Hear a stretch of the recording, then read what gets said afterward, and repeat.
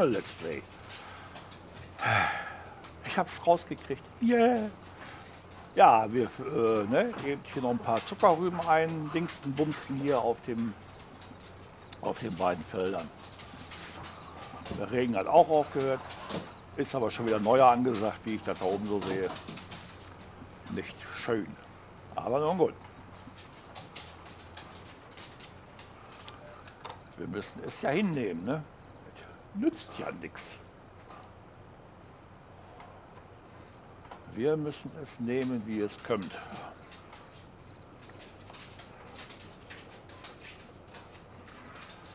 Da geht kein Weg dran vorbei. Ja, die Steine habe ich runtergesammelt. Inwieweit das jetzt natürlich klappt hier mit meinem äh, Düngen, Gedönse hier, das will ich noch nicht. Ich habe nichts Ahnung.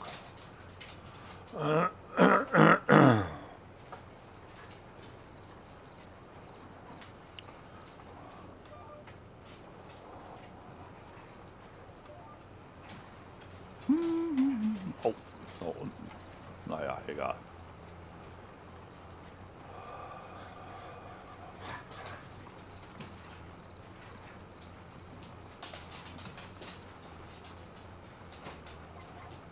Hunde machen nur Quatsch heute.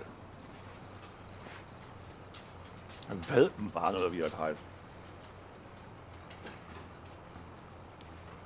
Hatte ich früher auch mal. Ist aber schon lange hin.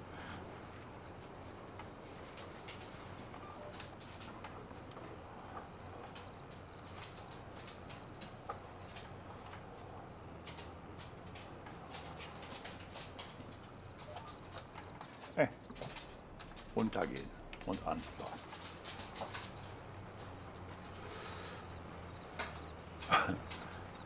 Das war noch Zeiten, wie ich noch Welpenbahn hatte. Aua, aua, aua.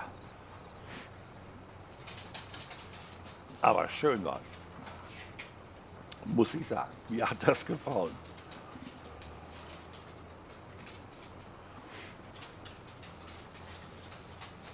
Manchem anderen wahrscheinlich nicht so. Ich glaube auch meine Eltern waren ein wenig genervt davon, aber es gehört dazu, ne, zum Erwachsenwerden.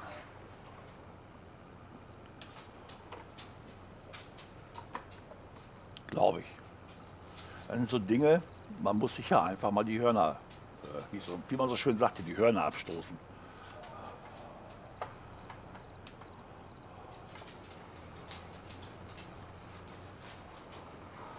Ich habe zwar schon mit 22 Jahren geheiratet, aber ich habe meine, meine Jugend, meine Kindheit und meine Jugend genossen. Das kann ich mit, kann ich hundertprozentig sagen. Man hätte noch ein bisschen mehr machen sollen, vielleicht nicht so früh heiraten, im Nachhinein gesehen.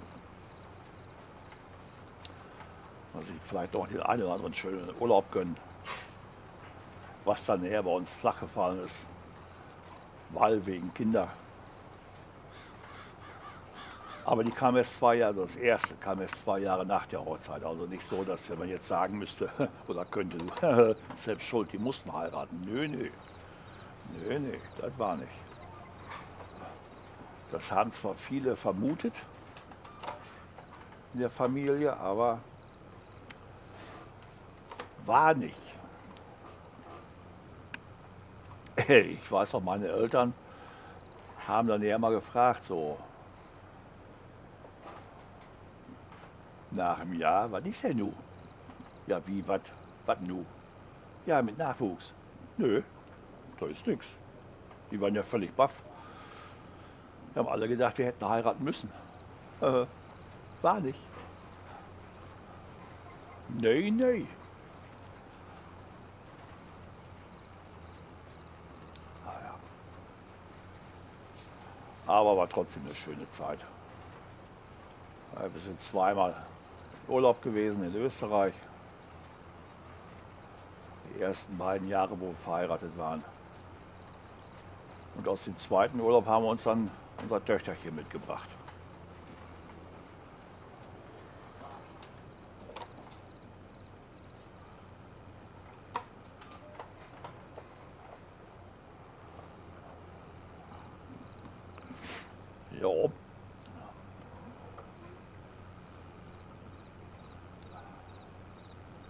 So ist das.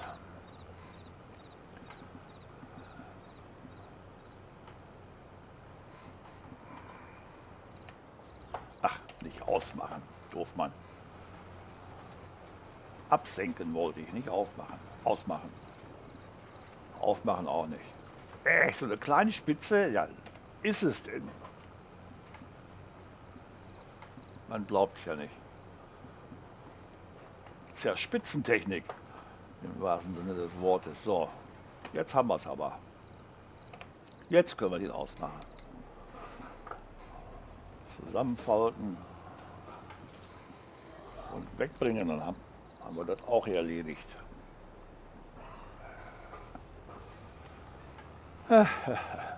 Ich glaube, ich muss den Hunden mal irgendwie so eine GoPro oder was aufsetzen, damit man dabei mitkriegt, was die für Quatsch machen. Ist ja unglaublich.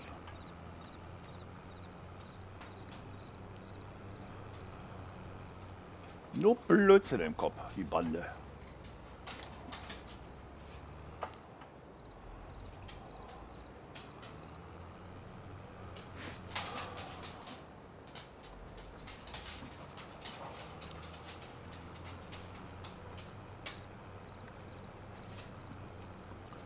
Nee, die Webcam kann ich nicht runternehmen. Weil das ist halt Kabel zu kurz, da komme ich nicht mit hin. Das gibt nur. Ne? Das gibt dann Chaos, das ist nicht gut. Die bleibt, wo sie ist. So, der kommt jetzt dahin.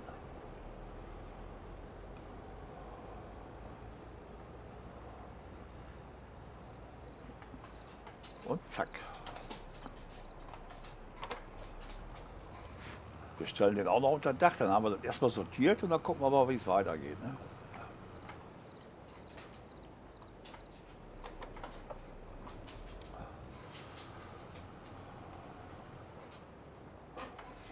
Wo kann ich übrigens Kalk verkaufen?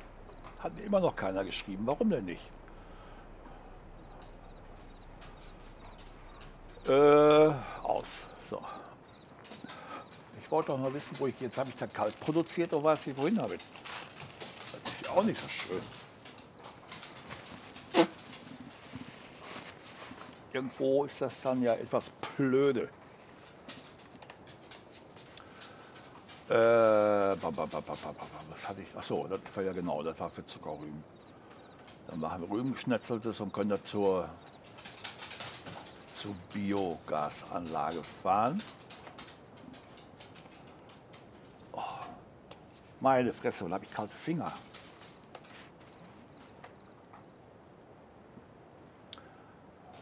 Das war Zucker, ne? Äh, Futtermischfabrik, auch schön. Ja, gut. Ach ja, genau, da geht ja nur loses Gedöng, Gedüngenskirchen rein. Das war ja mein Problem.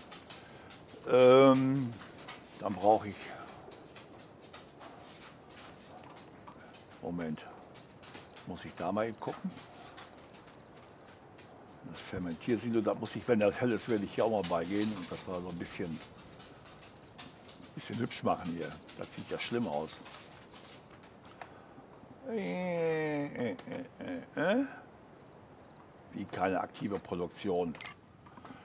Grassilage aktivieren. Mantau, Mantau. Alles muss man extra aktivieren, das ist ja nicht zu fassen. So, der läuft. Dann brauche ich die Grassil Grassilage, habe ich. Dann muss ich noch loses Heu haben und loses Stroh. Ne? Ja. Ja, genau. Oh. Und Silageballen wollte ich auch noch machen.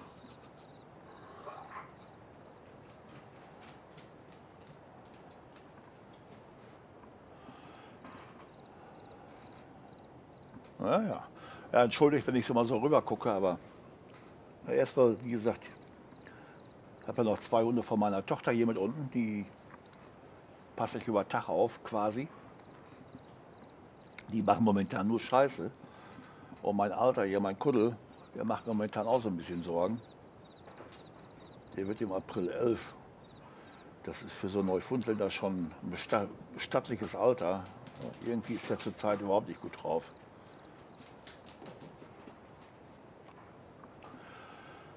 Ja, auch Tiere werden alt. Ne?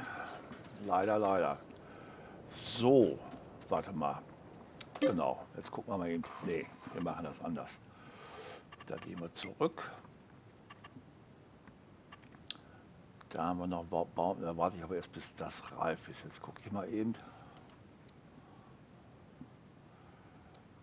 Bodenbeschaffenheit. Ja, muss ich tatsächlich noch mal düngen. Guck mal, den habe ich abge... Ne, Quatsch, da war ich ja. Muss gewalzt werden, was soll denn der Quatsch? Ja, ist es jetzt genügend gedüngt oder nicht? Weiß jetzt keiner, ne?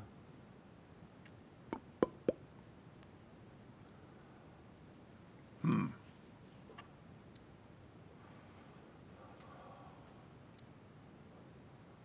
Zweiundfünfzig, dreiundfünfzig, da ist drauf. Genau. Dann werden wir das nachher wohl auch erst abernten. Die zwei schon mal. Schon, schon, schon, schon mal. Otto, du alter Racker.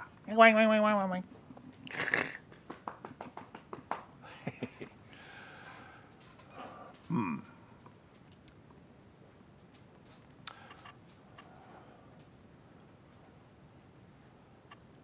Ja, habe ich denn überhaupt eine Walze? Wir sausen erstmal und pennen, damit das hell ist. Ich mag das lieber, wenn es hell ist. Ich habe zwar hier genügend Licht, aber ich mag es einfach lieber, wenn es hell ist. Wie viel haben wir denn nur meint? Ach, hier ist ja noch. Nee. Alles gut. Alles ist gut, wir mögen kein Pfeffermünz, denn wir sind ein Prinz oder so ähnlich. Ja, ja, ja, ja. Schlafen.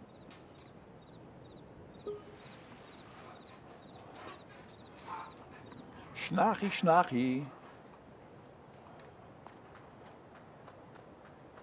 Ja, war morgens schon mal heller, ne? Kommt das. Ähm, wie sieht das denn hier mit meinen Hühners aus? Upp. Hühners. Produktivität. Ja, Geschlechtsreife, ja, ist klar. Ja. Wie sieht das mit Futter aus? Reproduktion 50 Prozent, ja, alles klar.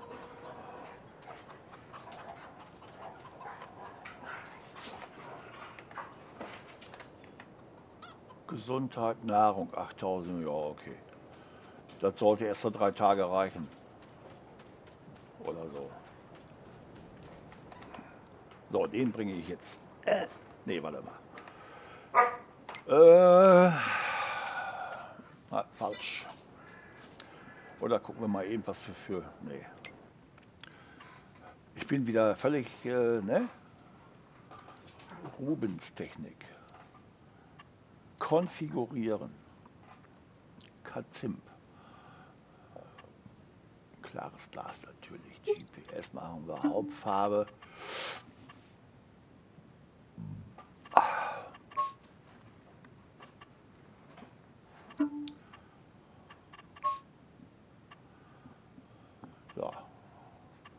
Mieten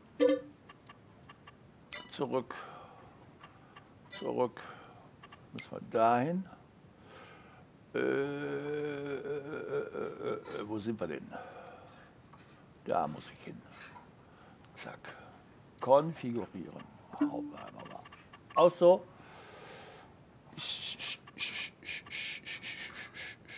Mieten. Danke. Zurück, zurück, zurück. Und nee, nee. Dahin. Doggy.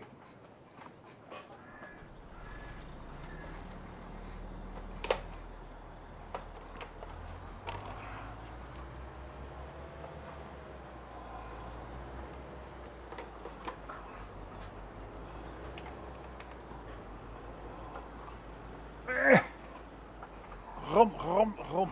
Äh, ist aber sehr schwerfällig, der Gerät, war.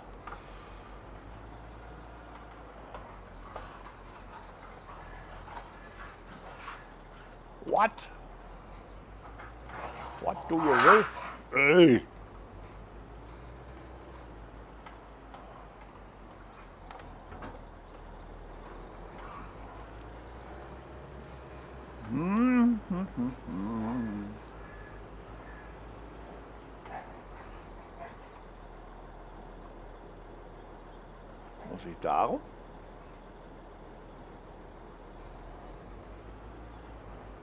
Scheint so, ne? Nein, es scheint nicht so. Ich bin ja völlig daneben. War ja klar.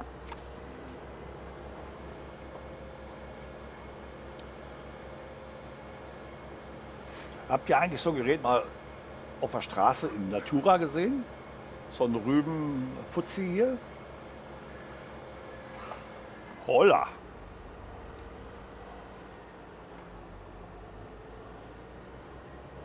Ich habe ja früher während meiner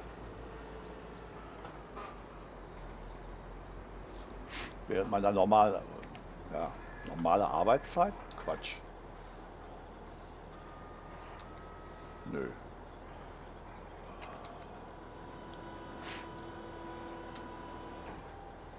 wie ich noch aktuell am im Berufsleben stand so so so so machen wir das mal habe ich ja, bin ich ja viel nach, äh, nach Zuckerfabriken gefahren und habe da Schweröl angeliefert. Und dann kommst du ja auch durch diese ganzen Rübengebiete. Und da habe ich so manches Mal so ein Gerät gesehen, auch als Dreiachser. Und wenn dir so ein Ding auf der Straße entgegenkommt, ich meine, die heutigen LKWs sind ja auch schon sehr hoch, aber das ist doch, äh, dass sowas entgegenkommt, das ist schon der Hammer. haben wir was in 4 Meter? Nee, haben wir nicht. Ach, Quatsch. Haben wir nicht. 4 Meter.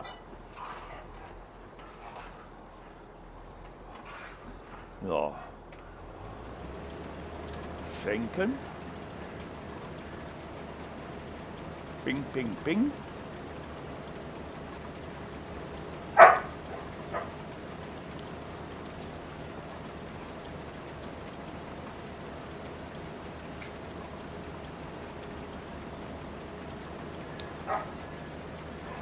Also so ein Rübenernter, das ist schon Koloss.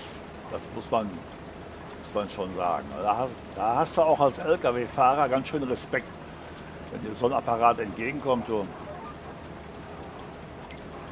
so jetzt muss ich hier hin.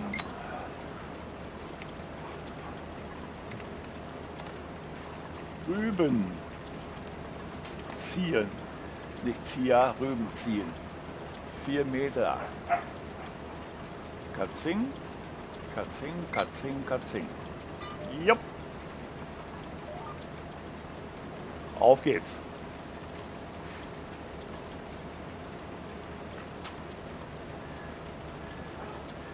Da hast du da manchmal Fahrer drauf, die kennen ja auch keine Gnade, ne? Die sagen sich auch, wenn der Fuzzi da mit dem LKW kommt, der hat so eine Muffe um sein Auto, der macht schon Platz. Das äh, habe ich auch so ein paar Mal erlebt.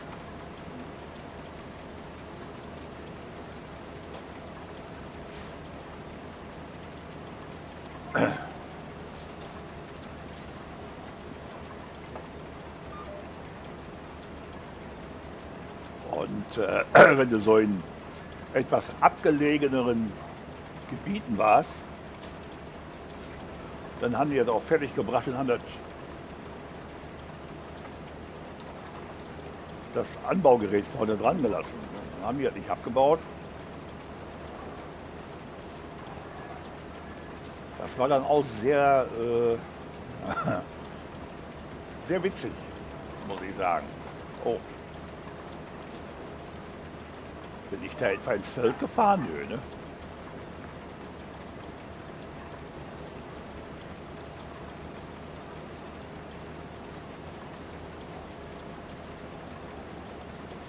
Ah, ist schon, wie gesagt, das ist schon ein Mordsding.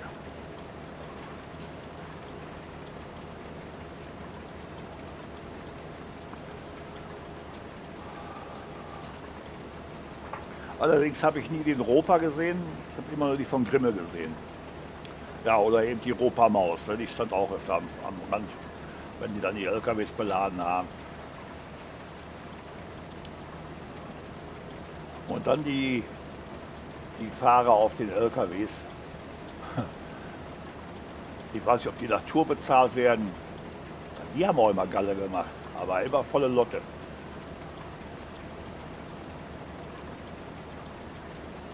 Nach dem Motto, wer bremst, verliert. Ne?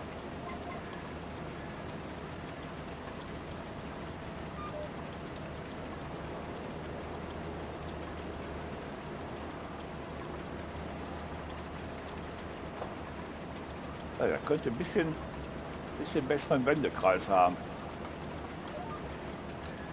Ich habe, äh, ah, ich habe damals, äh, ich habe ja im Mai meine neue, letzte neue Zugmaschine bekommen und im Februar davor hatte ich 14 Tage ein Vorführfahrzeug. Der hatte unter anderem auch eine, eine Hydraulikanlage dran, also zum Kipperfahren.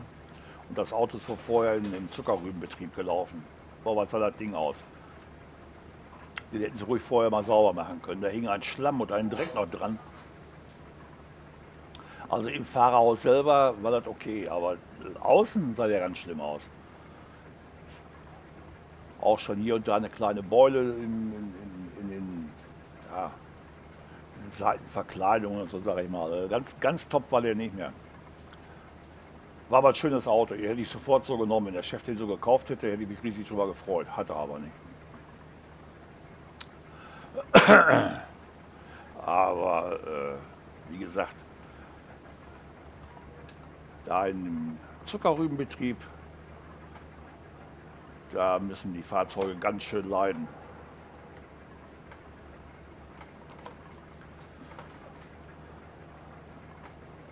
Weil die Herrschaften kennen da wirklich keinen Gut und keinen Böse, keinen Freund und keinen Feind, oder wie er das heißt. Da gibt alle Menschen.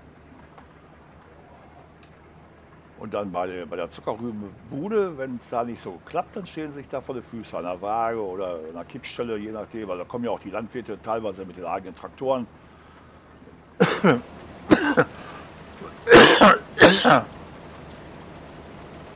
Dann kann das schon mal sein, dass sie da warten müssen. Finden die auch nicht schön. Und das finde ich auch nicht schön, das ist Quatsch hier. Kommt noch was? Nee.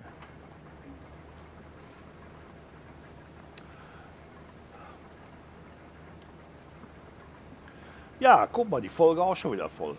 Dann habe ich ja für Donnerstag auch schon, ne? Wunderbar. Kann ich mich jetzt gleich zur Ruhe ziehen. Beziehungsweise erstmal den Ofen fertig machen. Das warm wird in der Hütte. So mal. Der Gerät ist auch gleich schon schon 30.000 Liter drin. Guckt dir das an, das passt doch wie Pott auf Deckel. Den tanken wir eben noch um. Hä? So. Äh.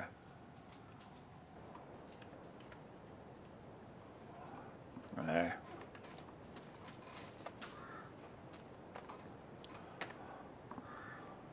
Wack.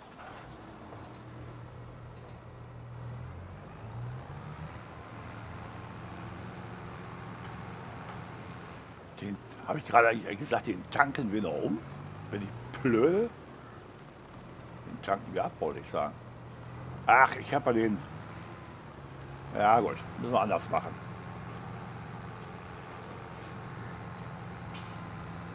Ich habe den Dreiachser-Anhänger verkauft. Ich wollte da ja ganz anderen drin haben. Äh, egal. Es war ja anders geplant.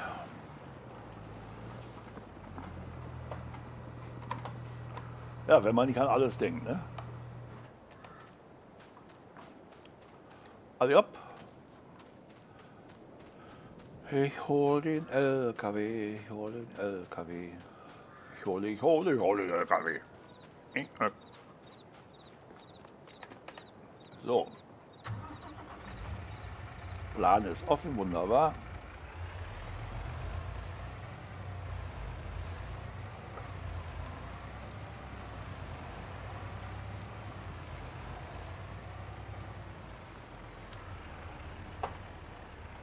Könnte mir vorstellen, meine, der passt ja eigentlich hier auf die Karte, ne? Ist ja eine amerikanische Karte. Aber ich könnte mir vorstellen, hier den nächsten europäischen LKW hinzustellen, den wegzutun.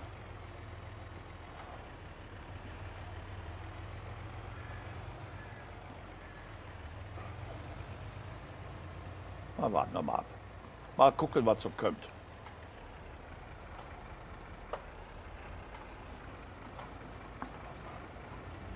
Gut, es wird umgeladen. Ich sage danke fürs Zusehen und äh, würde mich freuen über ein Däumchen, über einen Kommentar, dieses übliche, ihr kennt das alles. ein Abo, äh, pff, ne? ein Like und was weiß ich, wie das alle heißt. oh, schon leer. Das geht ja schnell. Äh, also, in diesem Sinne, macht es gut, Freunde. Bis zum nächsten Mal. Tschüss. Ja, genau.